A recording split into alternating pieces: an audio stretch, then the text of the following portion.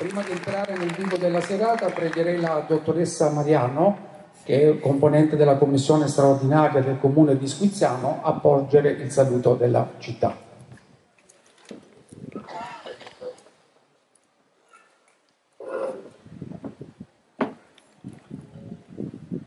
Buonasera, eh, ringrazio naturalmente tutti voi intervenuti, ma soprattutto il nostro graditissimo ospite per aver accolto l'invito della, eh, della commissione straordinaria e di questa eh, comunità intervenire eh, in questa rassegna che si chiama Suonare la musica, e, mh, no, pensare la musica e suonare le parole.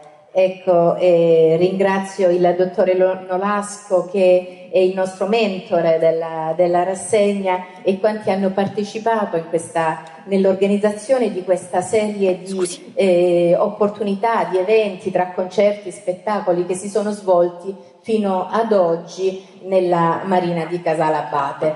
Questo è il primo, il primo appuntamento, la prima occasione in cui ci incontriamo nel territorio di Squinzano, nella città di Squinzano, questa bellissima, bellissima villa che è stata ristrutturata anche nell'intenzione di farne un contenitore culturale, quindi una, eh, un luogo di eh, incontro eh, per, la, per, la, cittadinanza. torniamo quindi eh, qui a casa per eh, un'occasione che noi crediamo importantissima perché eh, proprio attraverso eh, il dialogo culturale si può ripartire e riprendere quella socialità che ci è tanto mancata eh, in, questi, in, questi, mesi. E, ehm, solo due parole vorrei spendere sull'importanza della cultura eh, in, in, ogni territorio. Eh, spesso ci siamo persi nella, eh, così, nel concetto di culture abbraccia, che abbraccia attraverso eh, le, le, gli studi antropologici, sociologici, la, eh, una, un, un, significato di cultura che può essere cultura delle popolazioni primitive come cultura popolare, ma anche come cultura degli, del, del, mondo intellettuale, come strumento che veramente può essere eh, la bussola per ciascuno di noi, non soltanto per orientarci nel mondo della conoscenza, ma anche della vita. Noi vogliamo come, come amministrazione offrire eh, un'opportunità, un'occasione, quindi dicevo, non soltanto per il, eh, il, dibattito, la socialità, ma anche e soprattutto per il superamento delle asimmetrie sociali. Quindi eh, è uno strumento importantissimo che noi eh, speriamo di poter coltivare e eh, proporre a tutti voi. E quindi come partire se non con una rassegna culturale, con una, ehm, una, un ragionamento, una, una proposta sul tema della libertà, che forse non è un'illusione, ci dirà il professore Galiberti, ma qualcosa di più concreto, di più sostanziale che forse può orientare non soltanto la crescita e lo sviluppo della nostra, eh, della nostra società, ma anche eh, dell'individuo. Eh, ringrazio ancora il professore, ringrazio tutti voi per l'attenzione e eh, prima di passare la parola al, alla brevissima introduzione del nostro dottore Luca Nolasco, eh, auguro a tutti voi un, un, buon ascolto, un ascolto attivo, eh, empatico, che ci aiuti a mettere da parte ogni eh, frenesia della, della, quotidianità, ma che sia veramente una, un momento di, di ossigeno, di, piacere per tutti, tutti noi. Grazie, buona. Grazie dottoressa Mariano. Saluto anche il dottore Calignano che eh, fa parte della commissione straordinaria del comune di Squinzano, il comandante dei vigili urbani, gli amici dell'associazione Proloco Casalabate di Squinzano che tanto ci hanno aiutato nella realizzazione degli appuntamenti di questa rassegna eh, culturale. Eh, mi preme anche ringraziare la dottoressa Dell'Anna, la funzionaria del comune che tanto si sta adoperando e la dottoressa Maria Pia Greco che ha curato in maniera ineccepibile la comunicazione in particolare di questo evento. Sappiamo tutti che eh, le norme attuali anti-Covid costringono le organizzazioni a delle regole che purtroppo eh, bisogna necessariamente rigorosamente applicare. Detto tutto questo, ovviamente il professor Galimberti è talmente tanto noto che mi esonera da qualsiasi tipo di presentazione. E allora io vorrei approfittare di un brano che l'amico del Sentis, che ringrazio, ha messo durante eh, l'attesa di questa conferenza. Era un brano di Giorgio Galler, grande artista, amato da tutti noi, un artista che circa 50 anni fa aveva scritto una canzone bellissima che tutti noi conosciamo, che si intitola appunto La libertà. Un artista tale che all'epoca aveva profeticamente intuito il livello culturale in cui l'Italia si sarebbe trovata, al di là degli steccati di destra e di sinistra, non a caso Gaber veniva attaccato da destra e da sinistra perché quando uno attacca l'identità, le identità rispondono. E poi cosa è successo? È successo che una terribile malattia lo ha portato via. E perché noi, noi intendo noi cristiani, tu no Umberto perché sei di cultura greca, quando dico di cultura greca voglio dire che chi ha quella cultura greca ha una visione tragica della vita, non per dire sfaccio il naif e dico che sono di cultura greca, ha una visione tragica. Bene, diciamo, noi cristiani siamo tutti pienamente coinvolti in quello che Nietzsche definì il colpo di genio del cristianesimo, l'immortalità dell'anima. In questo modo il cristianesimo ha eliminato dalla cultura occidentale la mortalità e ha promesso a ognuno di noi, secondo precetto, un al di qua e un al di là.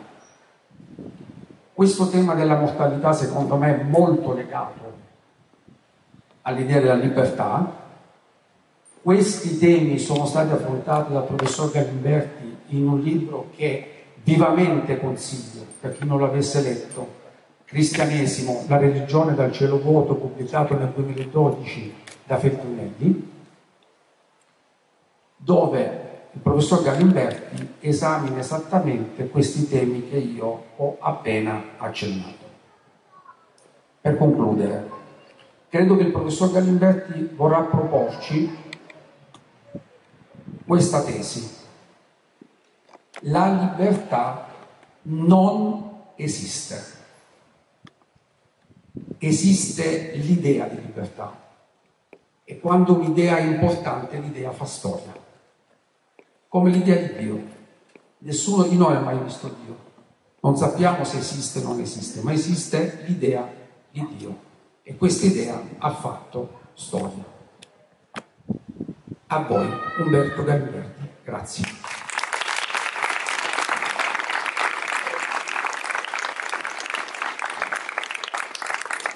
Buonasera.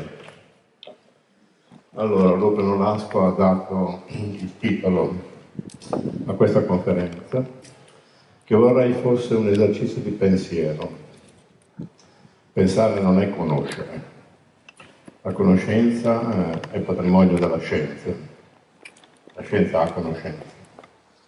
Il pensiero è una faccenda della filosofia e fare un esercizio di pensiero significa vedere se le idee che abbiamo in testa sono fondate oppure no, oppure sono il frutto di abitudini mentali, di cose che abbiamo sentito perché tutti la pensano in quel modo, oppure che contraddicono il modo di pensare comune semplicemente per distinguersi.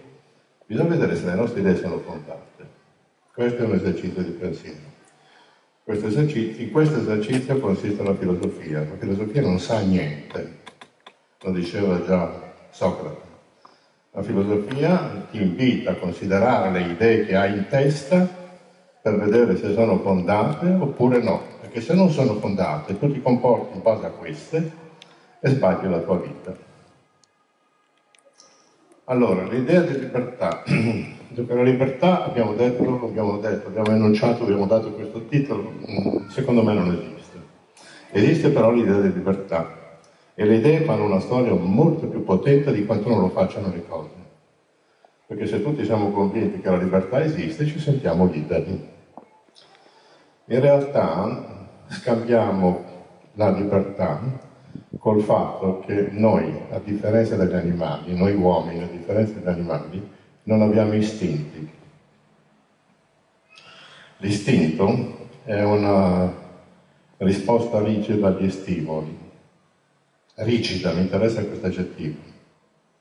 Noi non abbiamo risposte rigide agli stimoli. Abbiamo delle spinte, delle pulsioni a meta indeterminate. Anche l'istinto sessuale è così poco istintivo che io posso declinarlo in tutte le perversioni, cosa che non sembra sia possibile per gli animali. Oppure posso conferire alla mia pulsione sessuale una meta non sessuale, tipo fare un'opera d'arte, scrivere una poesia, quello che Freud chiama sublimazione. Se non abbiamo istinti, siamo indeterminati. Indeterminati. Indeterminati significa che non abbiamo una direzione come invece hanno gli animali. E allora le direzioni abbiamo dovuto crearle per poter convivere. E a partire dalla tribù primitiva hanno incominciato a stabilire dei codici. Che cosa è permesso, che cosa è proibito, che cosa è totem, che cosa è tabù. L'uomo ha bisogno della cultura per inquadrarsi e avere regole, perché non ha istinti. Gli animali non hanno bisogno di cultura, non hanno bisogno di istituzioni, perché l'istinto li regola. Poi sono intervenute le religioni con i precetti, i comandamenti e poi sono arrivate finalmente le istituzioni che stabiliscono che cosa è lecito, che cosa non è lecito, che cosa è vantaggioso per una comunità e che cosa non è vantaggioso, che cosa è utile e che cosa non è utile e fissa le regole di comportamento per poter convivere. Le istituzioni sono quel tentativo approssimativo di organizzare una comunità che non è regolata dagli istinti. Queste cose non le dico io, le diceva già Platone. Nel Protagora Platone dice che aveva incaricato Epimeteo, il fratello di Prometeo. Epimeteo è un nome che vuol dire colui che pensa dopo, quindi è l'improvvido, lo stupido, di conferire a tutti i viventi la loro qualità. Ed Epimeteo, proprio perché improvvido, giunto all'uomo non aveva nulla da dare. E allora Zeus ha avuto pietà di questi viventi privi di qualità, cioè privi praticamente delle loro qualità istintuali, disse a Prometeo, vai e dai a questi la tua virtù. La virtù di Prometeo è nel nome stesso, Prometheus vuol dire colui che vede in anticipo. L'uomo prevede e mentre gli animali mangiano quando hanno fame, l'uomo sa di aver fame anche quando ha lo stomaco pieno, prevede di aver fame. E in questa struttura sta questo compenso alla mancanza istintuale. Allora, gli animali non sono liberi, perché sono confinati nel loro istinto, non possono vivere dove vogliono. Se io porto un, un orso all'equatore, muore, se porto un leone a Pol Nord, muore. L'uomo può adattarsi progressivamente a tutte queste situazioni perché l'istinto non lo governa non lo obbliga a essere una cosa piuttosto che un'altra. E pertanto resta indifferenziato. Indifferenziato non vuol dire libero, vuol dire impreciso, vuol dire semplicemente che non c'è una regola che lo costringe. Di qui l'importanza dell'educazione. Gli animali l'educazione tra adulti e piccoli si risolve in poche settimane. L'uomo, proprio perché non ha istinti, ha bisogno di 15-20 anni, magari anche 30 oggi, per essere educato. E soprattutto la grande, la grande opera costruita dall'uomo, l'espressione più alta della cultura, sono le istituzioni che consentono agli uomini di essere in qualche modo regolati da regole comuni. Dunque i greci non credevano nella libertà, perché la loro concezione era che il mondo era governato dalla necessità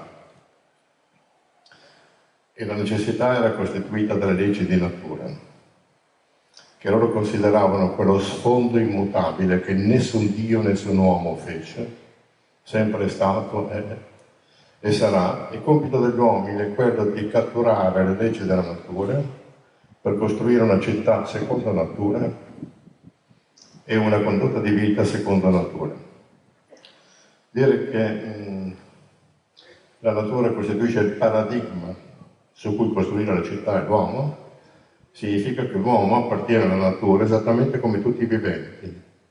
Al pari di tutti i viventi nasce, cresce, genera, muore. Questa è la ragione per cui i greci che disponevano di due parole per dire uomo, la parola aner e la parola anthropos, non le usano quasi mai, usano la parola zanetos, tarzanatos, che vuol dire morte, immortali, mortali. E quando eh, Prometeo ha donato agli uomini la tecnica, la capacità del calcolo, rendendoli da indifesi e muti padroni delle loro menti, a un certo punto il coro chiede, tu non è che hai promesso ai mortali qualcosa che non sei in grado di mantenere, l'allusione a un'altra vita oltre a queste. E Prometeo risponde, sì, ho dato loro tu flas tidas, cieche speranze. Ah, allora bene ha fatto Zeus a incatenarti alla roccia e mandarti un'aquila che ti rode il fegato che si riproduce per garantire l'eternità del supplizio, perché hai ingannato i mortali. Questo è il mondo greco. Nel mondo cristiano la natura non è lo sfondo immutabile che nessun uomo, nessun Dio fece, ma è una creatura di Dio e quindi il prodotto della volontà. E nella parola volontà è iscritta la libertà, perché io posso fare una cosa, ma posso anche non farla. Volontà vuol dire, include la parola libertà.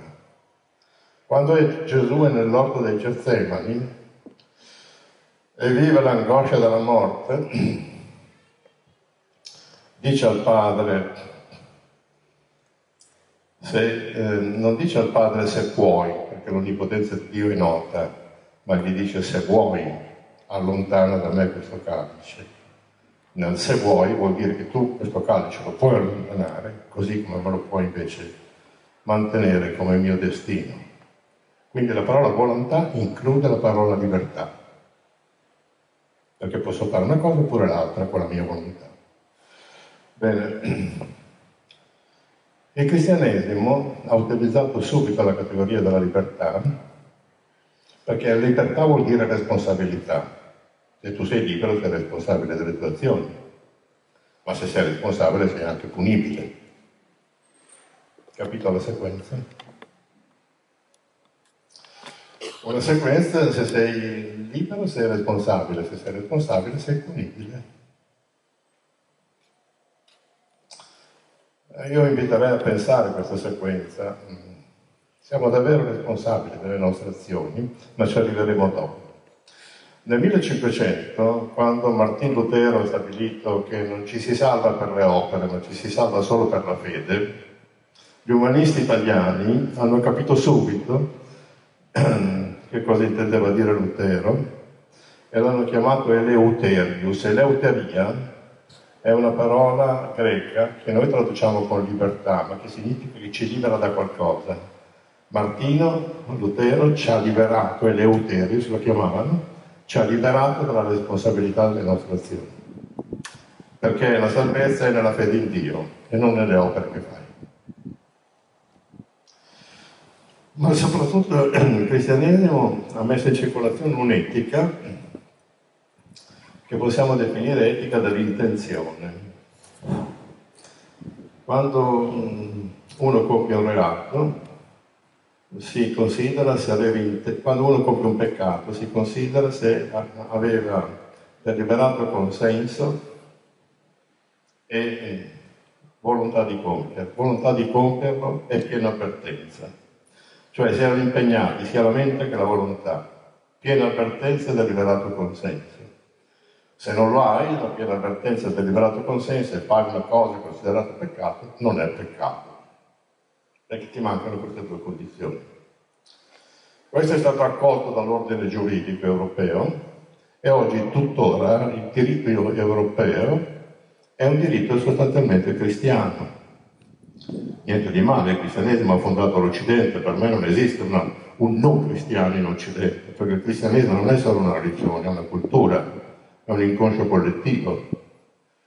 E giustamente Gianni Baget Bozzo, che è un teologo molto intelligente, scriveva sopravviverà l'Occidente al cristianesimo e per converso sopravviverà il cristianesimo all'Occidente. La risposta è negativa in tutti e due i casi. Bene, il cristianesimo eh, ha fondato l'Occidente, guarda al futuro con la speranza, perché questa è una categoria cristiana, e ha fondato il diritto europeo occidentale. Quando uno compie un reato, si prende in considerazione se aveva intenzione di compierlo, allora è colpevole, se l'ha compiuto ma non aveva intenzione, il suo delitto è colposo, oppure è intenzionale, oppure è preterintenzionale. Vedete questa morale dell'intenzione, in interiorità anime, dentro la tua anima c'è l'intenzione per cui si capisce se sei o non sei colpevole.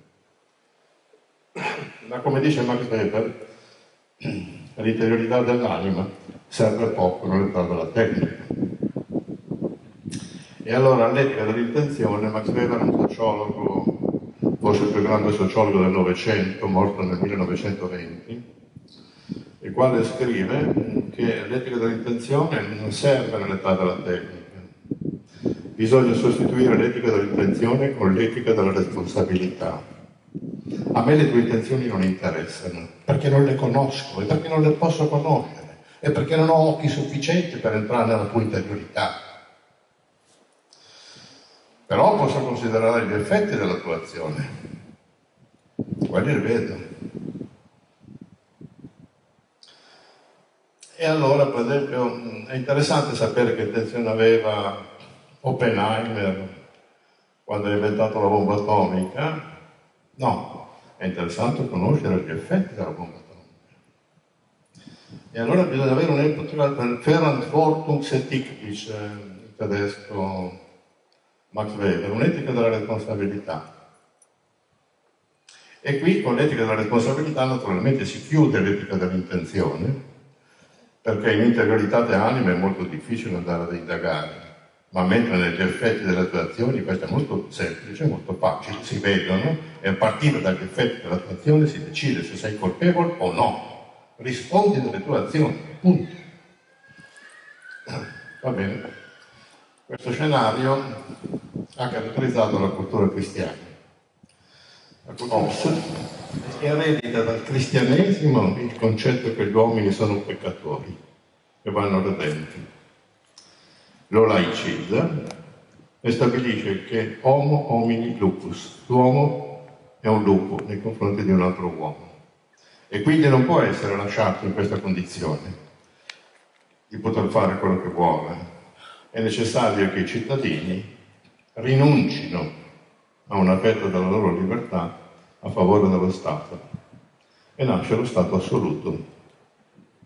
Stato assoluto significa che c'è qualcuno che dirige l'universo mondo, i mondi erano molto diversi, anche molto limitati, e la tua libertà l'hai delegata per avere la pace, perché homo hominis lupus, l'uomo è un lupo nei confronti dell'altro uomo e quindi va regolato con una rinuncia della libertà. La libertà torna potente con la rivoluzione francese, la quale rivendica egalité, liberté, fraternité. Ecco, ma questa parola libertà cosa vuol dire nella rivoluzione francese? Vuol dire mm, un riconoscimento giuridico di coloro che compongono la comunità.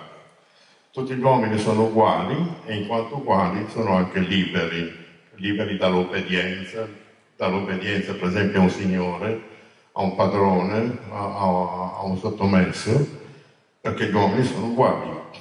Dobbiamo sapere che l'illuminismo non ha fatto altro che riprendere le categorie cristiane e anche se il cristianesimo non ha capito niente dell'illuminismo e l'illuminismo non ha capito niente del cristianesimo si sono messi a litigare come animali feroci, ma il concetto di libertà è un concetto cristiano, perché non ci devono essere, dice il Vangelo, né, né liberi né schiavi. Legalità è un concetto cristiano, siamo tutti figli di Dio. La fraternità è un concetto cristiano e si chiama carità.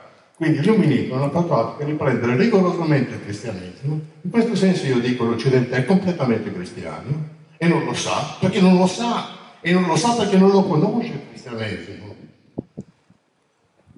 Basta considerare che quando i cristiani recitano il loro atto di fede, non dicono credono nell'immortalità dell'anima, che non esiste, ma credono nella risurrezione dei corpi.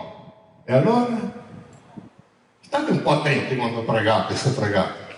Io vi invito a pregare, ma considerate le parole che dite. Bene, questo per quanto riguarda la rivoluzione francese, la libertà. Però eh, Marx dice, sì va bene la libertà, ma la libertà eh, ideata dai, dai rivoluzionari francesi è una libertà solo formale. Siamo tutti uguali, però il padrone della ferriera non è uguale all'operaio della ferriera. E non solo perché il padrone della ferriera non lavora e l'operaio della ferriera lavora. Considerate che nell'Ottocento si lavorava alla bellezza di 14-16 ore al giorno. Le donne erano pagate un quarto degli uomini, i bambini non erano pagati e per lavori ripetitivi andavano bene anche quelli, cosa che si sta riproducendo ancora oggi, non abbiamo ancora estinto questa anomalia. Allora dice, bisognerebbe arrivare ad una uguaglianza economica, dice Marx. E qui entriamo nell'ambito dell'economia. Gli antichi avevano un'economia molto interessante dove in gioco non era il valore delle cose, ma il valore del possessore delle cose. In gioco c'erano le soggettività non, se questo vaso è mio, vale molto se io sono un potente. Se invece è di una famiglia che non è potente, non vale niente. Allora erano i soggetti, è il soggetto che ha valore. E c'era una forma di scambio, chiamato scambio simbolico, dove il capo di una tribù invitava il capo di un'altra tribù e gli regalava faceva dei doni immensi, gli regalava, non so, dieci schiavi, quattro vascelli, eh, proprio regali molto, molto potenti. E c'era la legge, obbligo di dare, obbligo di ricevere, obbligo di restituire con uso, maggiorando. Oppure eh, invitava il capo tribù, distruggeva davanti a lui le sue ricchezze e diceva sei capace tu di fare questo, di distruggere le tue ricchezze in maniera superiore come l'ho distrutte io? E se l'altro non era capace, quell'altra tribù diventava schiava della prima. Questo era il gioco degli antichi, prima che nascesse il valore di scambio. Questo cosa significa? Che la cosa importante era eh, il gioco non era tra il valore degli oggetti, ma era tra il valore del possessore degli oggetti erano le soggettività che si sfidavano. Questo modello non è scomparso neppure oggi. Se voi andate eh, a comprare cose all'asta, vedete che a sfidarsi sono le soggettività, non è il valore della cosa. Il vestito di Marilyn Monroe non è che ha un valore immenso, ma il gioco delle soggettività e del rilancio lo fa diventare una, cosa che ha valore. Non è scomparso tutto questo. Però non funzionava perché questo delimitava un dispendio generalizzato della ricchezza. Questo sistema gli antropologi l'hanno studiato e hanno visto che esisteva nel Canada, nelle isole di Proprio, nelle Filippine, da noi, da tutte le parti. E hanno chiamato questo tipo di distruzione generalizzata, di questo dispendio generalizzato, l'hanno chiamato potluck. Potluck significa disperdere un po' l'abbondanza, non accumulare, perché l'accumulo ti dà potere e il potere è sempre negativo. perché è potente. Poi abbiamo introdotto un, una categoria nuova, i greci l'hanno introdotta, che è ehm, lo scambio non più in base alla soggettività, non più in base al soggetto che possiede il vitello che io scambio con cinque capretti, ma lo scambio deve regolarsi sul valore dei cinque capretti corrispondenti al vitello. Io ti do un vitello, tu mi dai cinque capretti. Questo valore di scambio si chiama razio. La parola ragione non è nata in filosofia, è nata in economia. E la razio è l'equivalenza in quello che io ti do e quello che tu mi devi dare in corrispondenza. Questa è la razio. Il mercato nasce qui e ha una sua razionalità. Ha una sua razionalità perché quello che io ho l'ho pagato e con che cosa l'ho pagato? I greci introducono il denaro, che di per sé non ha nessun valore, se non per legge. E infatti il denaro i greci lo chiamano nomisma, e nomos è la legge. Vale perché la legge stabilisce che vale. Se la legge domani non valesse più o non lo considerasse più un valore, il denaro non varrebbe più niente. Nomos, nomisma. Tant'è che Aristotele dice che col denaro non si può costruire una ricchezza, perché il denaro non è un bene, ma è il simbolo di un bene. La moneta di 50 euro che abbiamo, che, che, che abbiamo in tasca non vale niente se non c'è la legge che stabilisce che vale. Nomisma, nomos. E anche il cristianesimo sotto questo profilo interessante, perché il cristianesimo dice mutum date nihil desperantes. Prestate il denaro e non disponetevi ad attendere la restituzione. Ditelo alle banche. Mutum date nihil desperantes. E infatti era proibito fare banche, cioè prestare il denaro e attendere la restituzione maggiorata perché il tempo è denaro poi hanno incominciato gli ebrei, hanno visto i cristiani che gli ebrei si arricchivano, allora Innocenzo III ha dato il permesso anche ai cristiani di costruire le banche. sono nate le banche che portano tutti i nomi di santi, San Paolo, eh, Sant'Antonio da Padova, Antoniano, eccetera. No? Come mai? Eh, bisogna guardare le cose, guardando le cose si capisce la loro genesi, che appendo la loro genesi si capisce il loro significato. Va bene, nasce il denaro. Il denaro di per sé non è una cosa brutta, perché in qualche modo ha consentito una liberazione dalla schiavitù.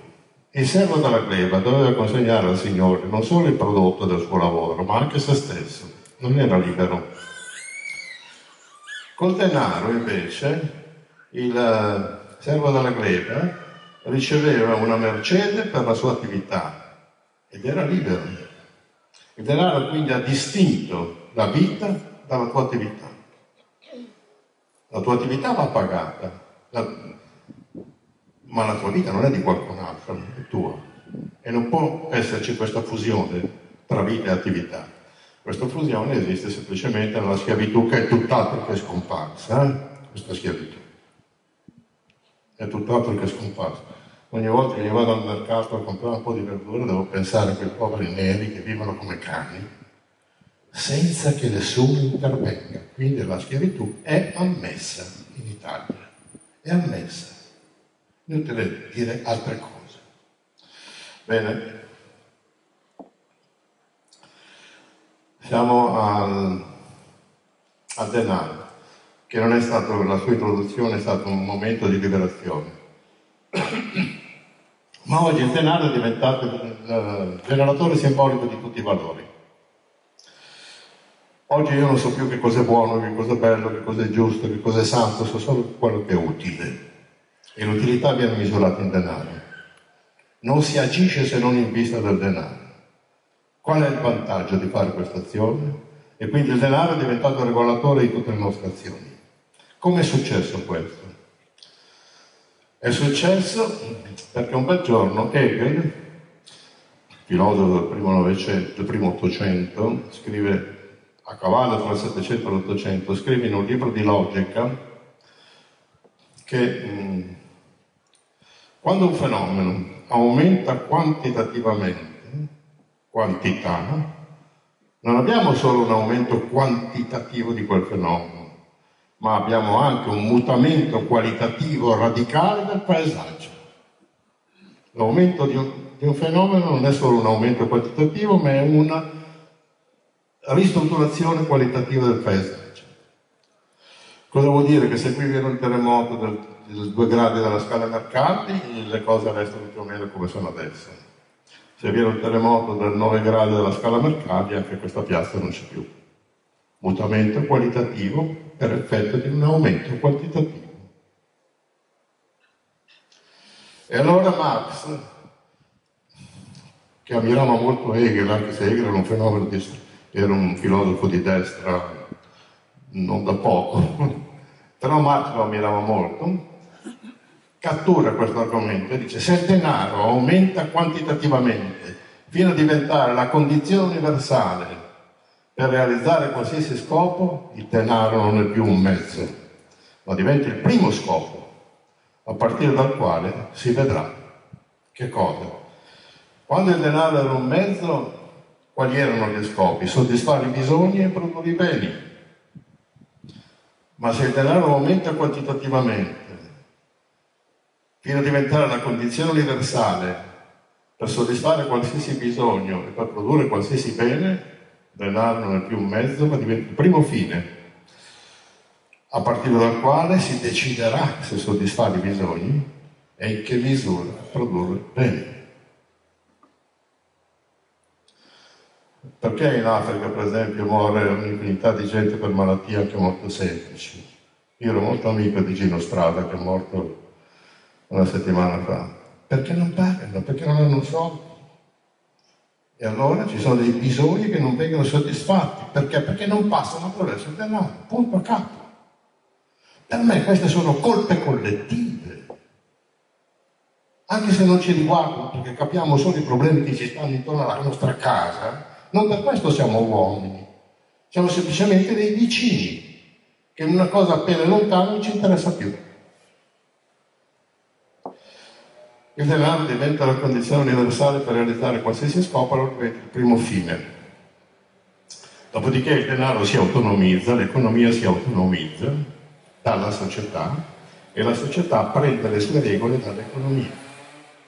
Oggi abbiamo una società regolata dall'economia, non regolata dai valori comuni, dai processi di vicinanza, dalle relazioni sociali, è dall'economia che è regolata la società non serve più tenere aperta questa fabbrica, licenziamo tutti, ma quelli loro come fanno a mangiare?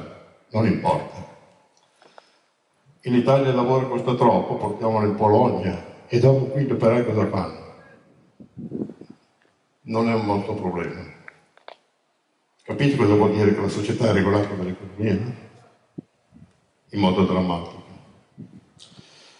Lasciamo perdere perché anche la politica è regolata dall'economia. Oggi la politica non è più il luogo della decisione come aveva previsto Platone. Oggi la politica per decidere riguardo all'economia. E allora il luogo della decisione si è spostato dalla politica all'economia. Cosa fanno i politici? E vanno in televisione, non avendo più una funzione decisionale, perché devono essere semplicemente osservanti di regole economiche internazionali determinate dal fatto che il denaro è diventato il generatore simbolico di tutti i valori. Il mercato, tutto sommato, è una forma razionale, ha una sua razionalità. Questa razionalità consiste nel fatto di raggiungere il massimo degli scopi con l'impiego minimo dei mezzi. È la forma più alta di razionalità mai raggiunta dalla storia. Massimo degli scopi con l'impiego minimo dei mezzi.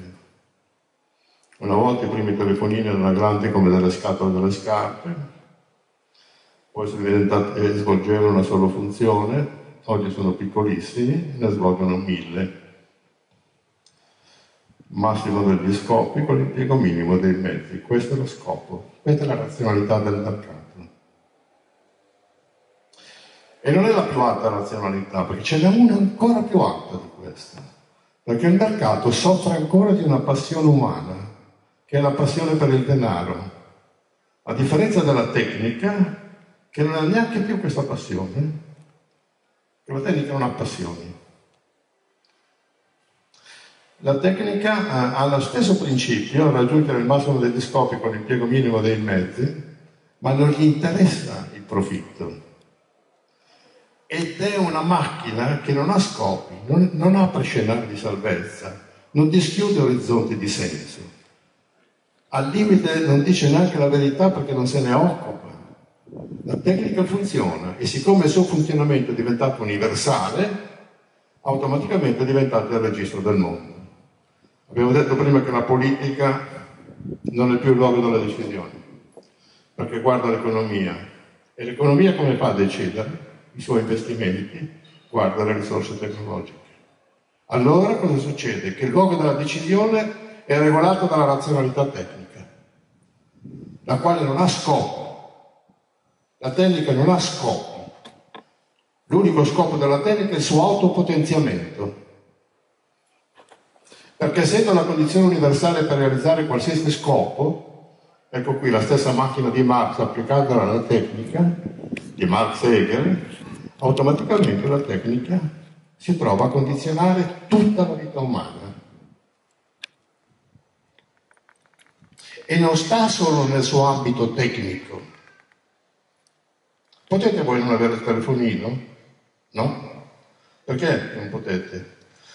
Perché se la comunicazione passa attraverso i telefonini e i computer, chi non ha i telefonini e non ha il computer non ha la comunicazione. Quindi la socializzazione viene, viene configurata tecnicamente, non più antropologicamente. Il distanziamento sociale non l'ha creato il Covid, l'ha creato l'informatica. Io parlo con te guardando un telefonino o col computer. Questo è il distanziamento sociale più radicale.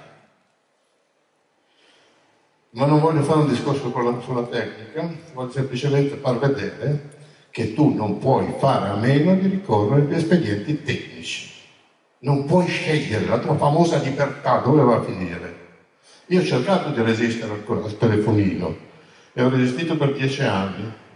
Poi Alessio Mauro, che era direttore di Repubblica, mi fa o lo prendi o non scrivi più su Repubblica. A quel punto ho dovuto prendere. Fine della trasmissione. Ecco, siamo liberi di non avere il telefonino, di non avere il computer? No, siamo. Quindi la tecnica ti impone la modalità di socializzare. Adesso c'è imposto anche la modalità di imparare con la didattica a distanza.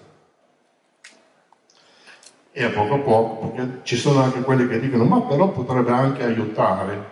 Eh, Stoll, che è stato quello che nel 1969 ha inventato il primo computer, ha scritto un bel libro uh, nel 2006 in cui alla domanda che gli faceva l'intervistatore, Clifford Stoll si chiama questo l'eretico high tech, eh, il titolo del libro, l'intervistatore gli chiedeva ma eh, l'informatica è utilissima per chi ha un'azienda, eccetera. E lui risponde, sì, sì, certamente. Eh, I padroni del vapore possono benissimo usare gli strumenti che ho inventato, purché questi strumenti non entrino nella scuola. E, l'intervistatore gli dice, ma forse que- questi strumenti, i ragazzi, hanno più informazioni, sono, diventano più intelligenti sanno qualcosa di più. E lui risponde, a parte che l'informatica non costruisce la sintesi mentale, ti dà tante informazioni ma non ti dà i collegamenti e la scuola deve dare i collegamenti. E poi un buon insegnante non sostituirà mai l'informazione che ti dà un computer. E però, dice l'intervistatore che lo incazza ancora, può sostituire i cattivi insegnanti risposta di Christopher Stoll, no, i cattivi insegnanti si licenziano dalla scuola, senza esitazione. Giusto. Io pro- propongo di abolire il ruolo agli insegnanti, perché non si può prevedere che un insegnante demotivi gli studenti per il fatto che è di ruolo. Quando un insegnante non funziona, lo sanno gli studenti, lo sanno i professori, lo sanno i, i dirigenti scolastici, lo sanno i genitori, è una domanda. Non funziona questo professore, demotiva. E cosa risponde il dirigente scolastico? Eh, ma cosa ci posso fare? È di ruolo. E allora si abolisce il ruolo.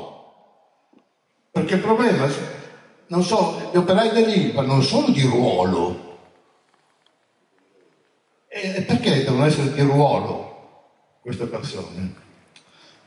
Ma lasciamo perdere. Nel realtà della tecnica cosa siamo diventati noi? Dei funzionari di apparati tecnici.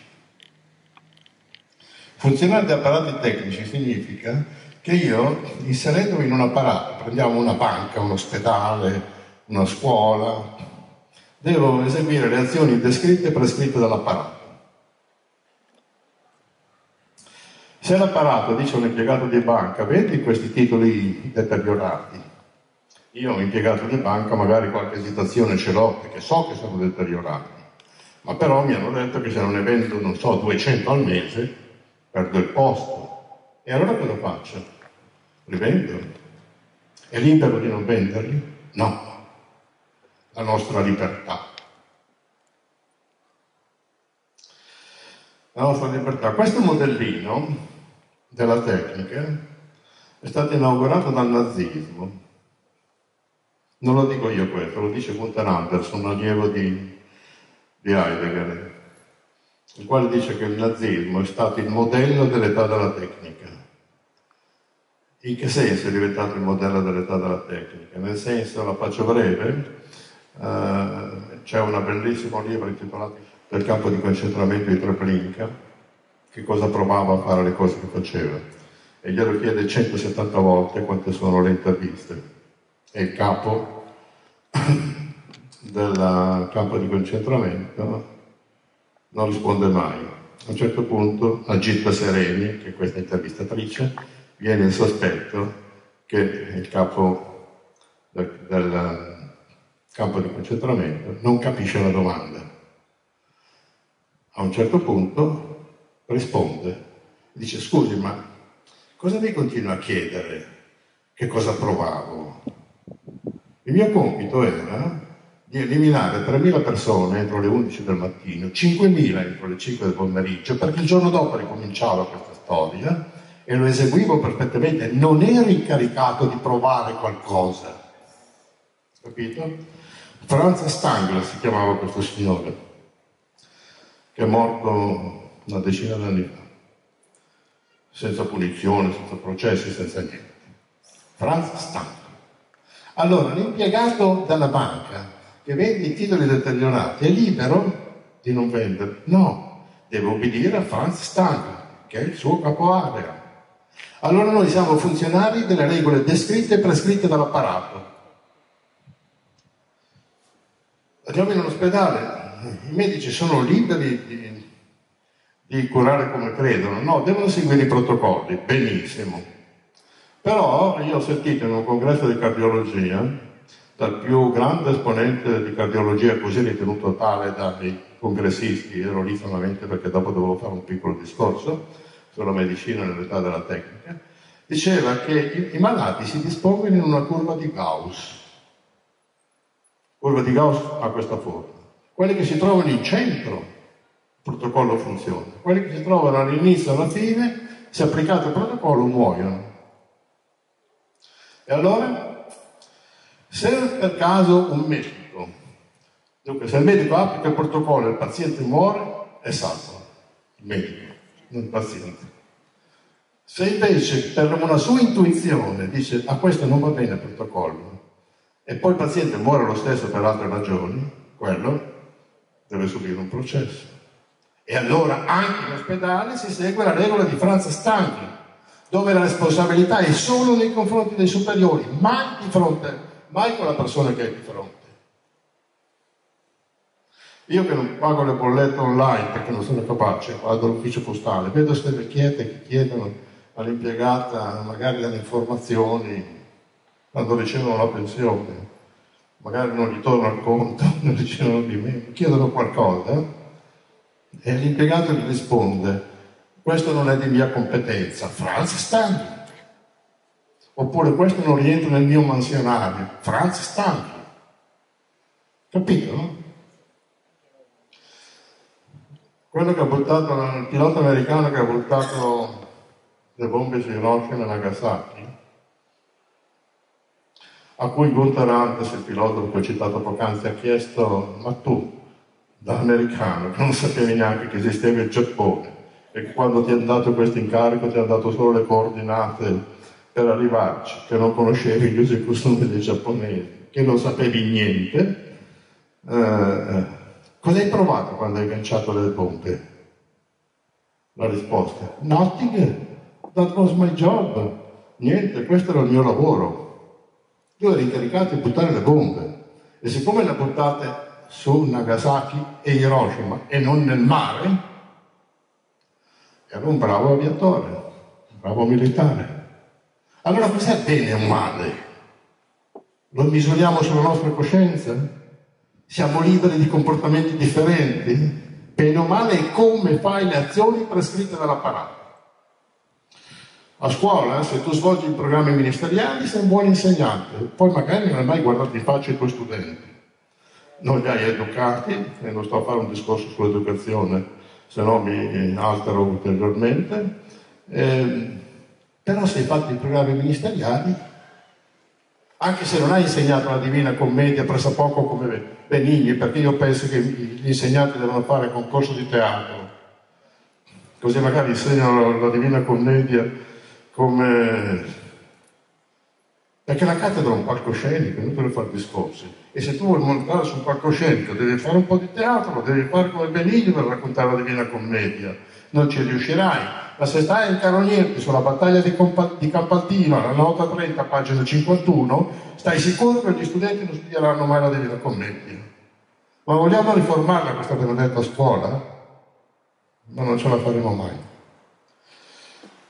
Io non ho più speranza, anzi sono anche stufo di fare conferenze, tanto cosa cambia? Cosa cambia? Niente. Bene, allora abbiamo capito che cosa vuol dire essere, la, essere l'unità della tecnica. Eh? La libertà te la scordiamo, la responsabilità solo nei confronti dei superiori, per la persona che hai davanti o per gli effetti delle tue azioni, sei esonerato. Sei esonerato. A questo punto, se tu, ehm, i tuoi scrupoli di coscienza sono tali da creare una situazione di disagio tale, l'apparato ti fornisce gli psicologi, cognitivisti e comportamentisti, i quali ti insegnano che se le tue idee sono diverse da quelle dell'apparato, sarà bene che ti uniformi non potendo tu cambiare l'apparato. Se ti uniformi dopo sei più sereno. Oppure se il tuo modo di andare a lavorare non, non assume un comportamento come quello previsto dall'apparato, i comportamentisti ti insegnano come ti devi comportare, naturalmente nella forma che è gradita dall'apparato, per evitare il conflitto. E così si crea il conformismo. Diventiamo tutti uguali, tutti omologati. Ma soprattutto si crea quella dimensione di scissione dentro di noi tra pubblico e privato, nel pubblico dobbiamo seguire delle regole che sono le regole dell'apparato. Per il privato abbiamo il weekend. Non so qui cosa si fa nel. A Milano vanno tutti via dalla città, si vede che lo stress è tale che basta anche un sabato e domenica, è sufficiente per mettersi in autostrada e stare in coda, che è già più divertente secondo loro di stare a casa invece non libero. Eh, il pubblico segue le sue regole e nel privato Cosa si fa nel privato? Il privato servirebbe per entrare in rapporto con se stesso, tutto sommato, no? Perché le regole della tecnica, essendo regolate dalla tecnica, essendo solamente razionalità pura, se questo concetto diventa universale, eh, ma noi abbiamo anche delle componenti irrazionali. L'uomo ha anche delle componenti irrazionali. Per esempio il dolore è irrazionale, l'amore è irrazionale, L'immaginazione è irrazionale, l'ideazione è irrazionale, il sogno è irrazionale, il desiderio è irrazionale. E chi li cura queste cose qua? Perché la tecnica ti chiede una razionalità rigorosa. Noi per cinque giorni alla settimana facciamo un esercizio di razionalità nei, nostri, nei luoghi dove lavoriamo, dove studiamo. E poi queste cose qui come vengono fuori? Come le curiamo? E allora bisogna introdurre una malattia grave che si chiama schizofrenia, che io definisco schizofrenia funzionale. Riuscire a distinguere il momento pubblico da quello privato, essere una cosa in pubblico e un'altra cosa in privato. Così. Schizofrenia funzionale. Schizofrenia è una cosa bestiale, eh? come patologia. Schizofrenia vuol dire che la tua mente è scissa, schizza vuol dire scissione. E noi siamo tutti scissi. I greci lo dicevano, l'uomo è un lacerato. Noi invece siamo diventati degli uomini scissi nell'età della tecnica, altro che liberi. Non abbiamo neppure un'identità noi che abbiamo costruito da noi stessi, perché l'identità te la dà il riconoscimento. Noi non nasciamo con un'identità, l'identità ce la danno gli altri. L'identità è un dono sociale, un dono sociale. Se un bambino dico sei bravo, cresce con un'identità positiva. Dico che un cretino, c'è la possibilità che cresca con identità negative. Anche quelli che vanno a lavorare, se li aumentano in carriera, hanno un incremento di identità. Se gli fanno il mobbing, hanno un decremento di identità, demotivazione, depressione, tante volte il gesto estremo. Sono gli altri che ci danno l'identità. Questo è dall'origine del mondo. I greci l'avevano capito e avevano messo la società prima dell'individuo. E Aristotele dice, se uno entra in una città e pensa di poter fare a meno degli altri, o è bestia o è Dio. E siccome non siamo Dio né bestie, abbiamo bisogno degli altri. La società viene prima perché è il luogo del riconoscimento, è il luogo che ti conferisce identità. Tutto questo è stato distrutto dal cristianesimo, il quale ha privilegiato l'individuo sulla società.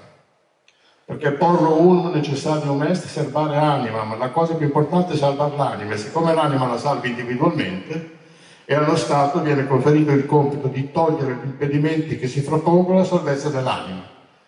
Sant'Agostino.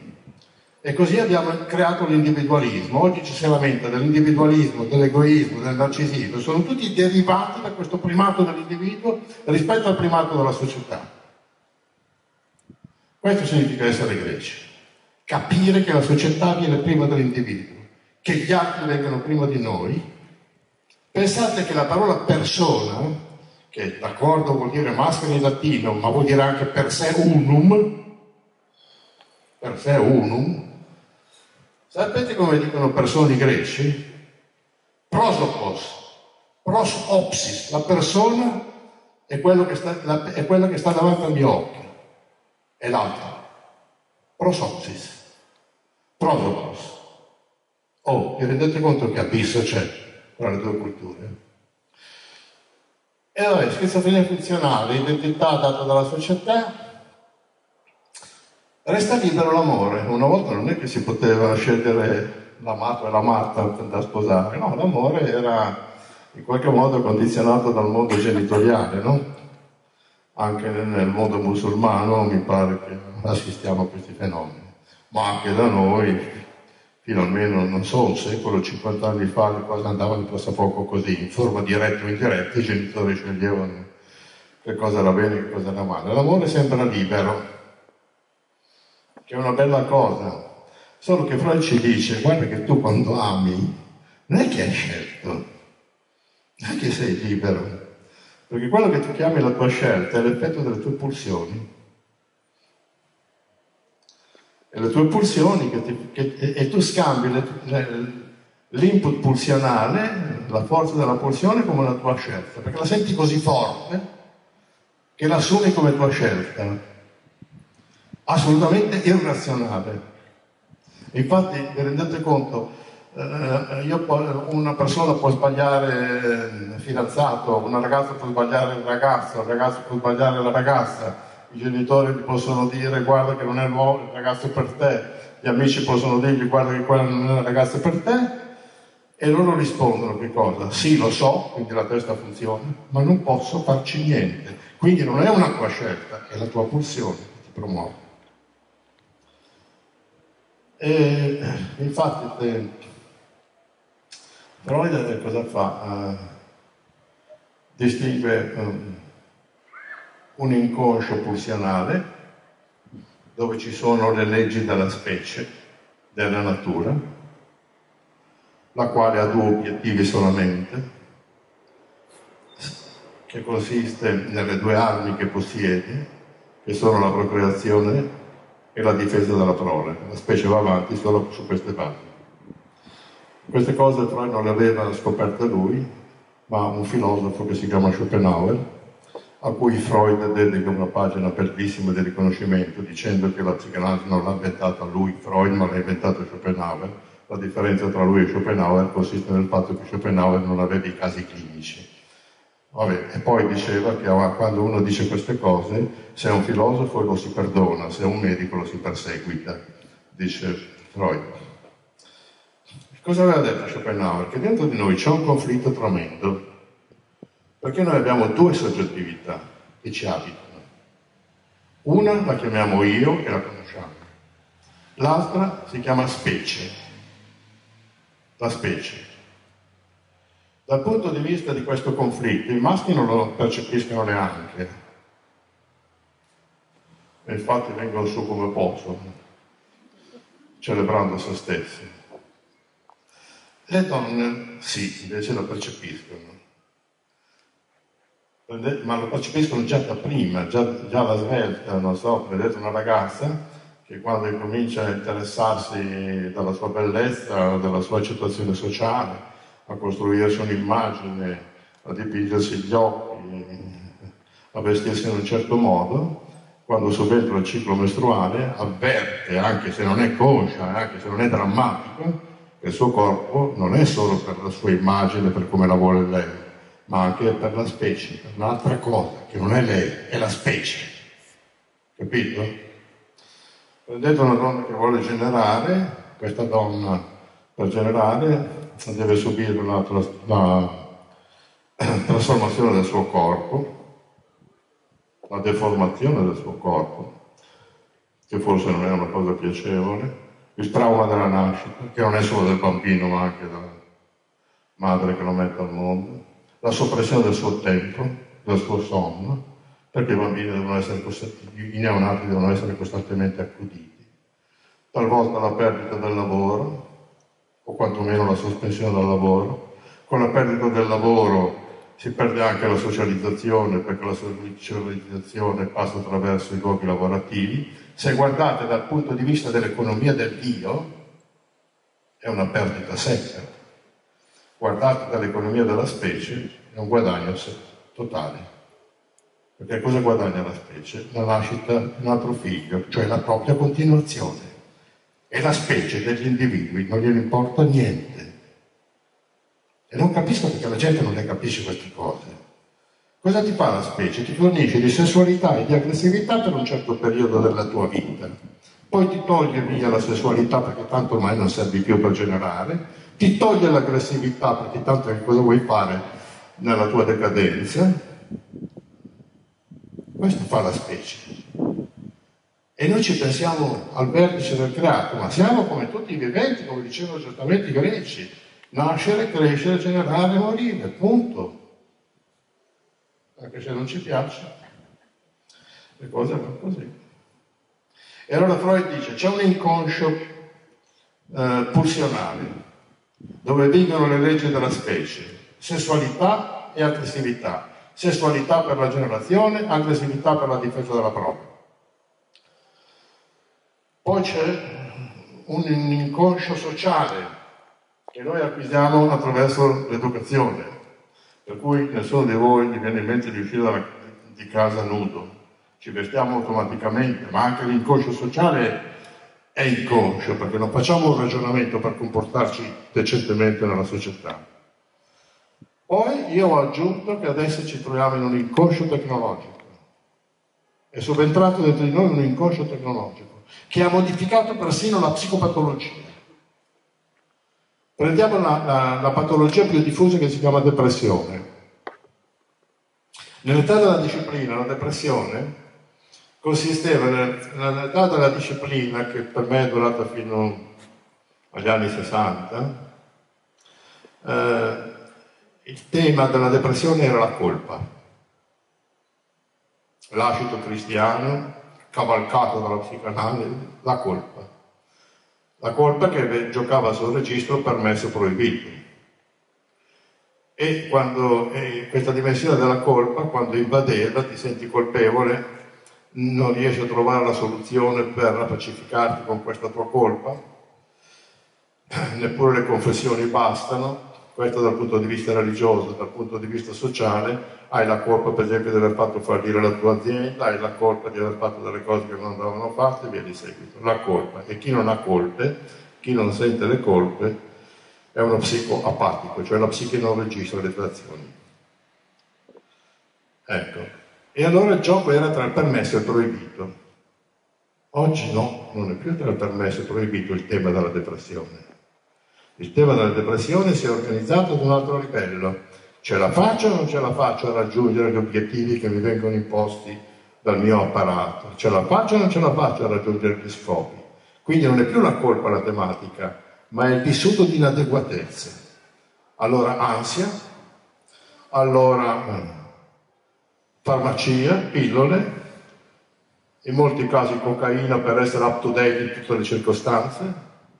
C'è questa frenesia continua, questo essere sempre all'altezza della situazione e poi piombare nella depressione che è ciclica e la depressione è diventata la tematica tipica dell'età della tecnica dove tu esisti relativamente, perché sei un funzionario di un apparato.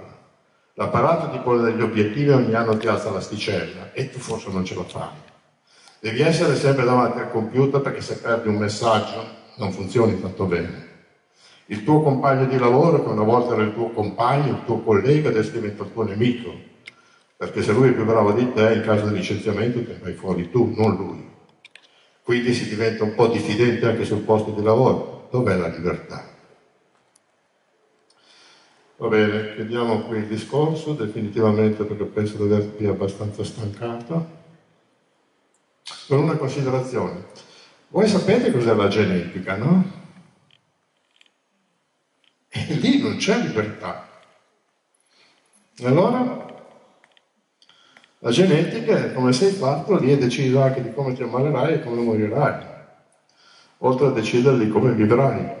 La genetica. E adesso la medicina sta volgendosi sempre più in chiave genetica, con cui si potranno modificare delle situazioni altrimenti immodificabili che conducono alla morte. Niente di male con la genetica. Però non c'è libertà.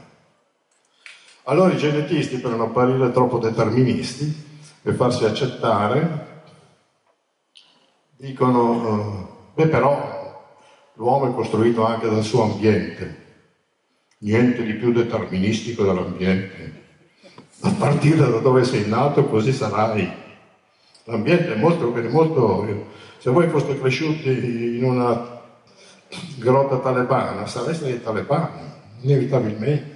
Siete cresciuti qui, avete questa psicologia, foste cresciuti in Austria, ne avreste un'altra L'ambiente ti condiziona in maniera radicale, allora tra genetica e ambiente noi siamo il frutto di questi due processi deterministici. Chiudo con un esempio per far capire la cosa definitivamente. Un giorno Jean-Paul Sartre è andato in montagna senza una guida, caduto, è finito all'ospedale e là con la gamba tirata è venuto a trovarlo il suo collega e amico Merleau-Ponty e gli ha detto ma Jean Paul non potevi andare in montagna con una guida e Jean Paul gli risponde secondo te io vado in montagna con una guida cosa vuol dire questo, questo raccontino? vuol dire che l'identità non ti consente di essere libero, la tua identità ti consente di scegliere una cosa piuttosto che l'altra. La tua identità te ne fa scegliere una, sempre quella. Jean Paul, per il suo carattere, la sua identità, non gli consente di andare con una guida in montagna. La libertà confligge con l'identità. Non sono libero. E la fiducia sociale si fonda sul fatto che l'identità è più forte della libertà. Io mi fido di te perché ti conosco. E cosa vuol dire? Che prevedo che la tua identità non cambi da giorno alla notte come Mr. Hyde e il dottor Jekyll che sarebbe uno sdoppiamento della personalità. E la fiducia sociale si fonda sull'identità, perché il giorno che tu fai una cosa diversa da quella che hai sempre fatto, per cui hai raccolto fiducia, a quel momento lì sei fuori gioco. Comunque, se vi fa piacere considerarvi libero, non ho nessuna obiezione. Grazie. Grazie di cuore perché so i sacrifici che hai fatto per essere oggi qui a Squinzano. So che sei in giro da moltissimi mesi e per questo ti sono personalmente grato e mi permetto a nome della Commissione della città di Squinzano di esprimerti la più ampia gratitudine con un abbraccio, con l'auspicio di rivederci sempre qui a Squinzano il prossimo anno. Grazie, grazie a tutti volevo cogliere l'occasione per invitarvi sabato prossimo, sempre qui a Villa Cleopazzo, alle ore 21, ci sarà il concerto di uh, Maria Mazzotta, che è una voce salentina tra le più apprezzate a livello internazionale, e sarà il settimo appuntamento della rassegna Filia. Quindi vi aspettiamo tutti quanti sabato prossimo qui a Villa Cleopazzo alle ore 21. Grazie, grazie di cuore, grazie a tutti, grazie per aver partecipato. Grazie.